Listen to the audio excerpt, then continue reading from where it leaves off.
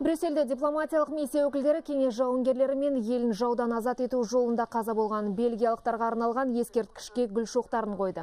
Эвер қаласындағы қорымда екінші дүниежүзілік соғыста отан үшін опат болғандардың аты жөні жазылып, құлпытастар қойылған. Қазақстан, Ресей және басқа тмд елдерінің дипломаттары мен әскери өкілдері соғыс құрбандарының рухына тағзым етті.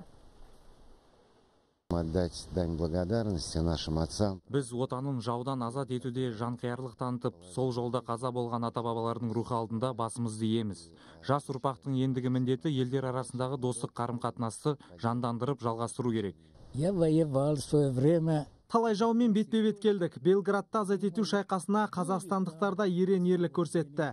Мен жыл сайын қазақстандықтармен бірге қаза болған жолдастарымның басына барып гүл қоямын. Бұл тарих елін қорғаған қайтпас қайсар жауынгерлерді ұмытпауымыз керек.